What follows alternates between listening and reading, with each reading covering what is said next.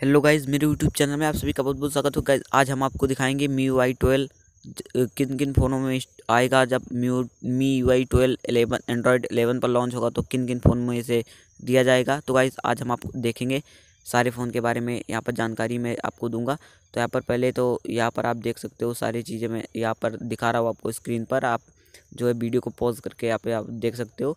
मीवे का और इसके खास फीचर काफ़ी अमेजिंग है और गाइज़ ये किन किन फ़ोन में आएगा सारी की सारी डिटेल मैं यहाँ पे दे दे रहा हूँ तो आप इसे पढ़ लीजिए और मेरे चैनल को सब्सक्राइब करके घंटा बेलाइकन को दबा दीजिए।